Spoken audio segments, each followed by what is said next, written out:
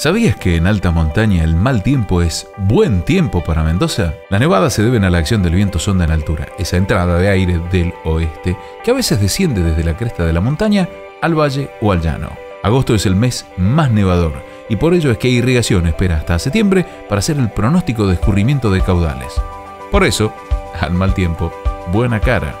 La nieve es nuestra fuente de agua más importante. Departamento General de Irrigación.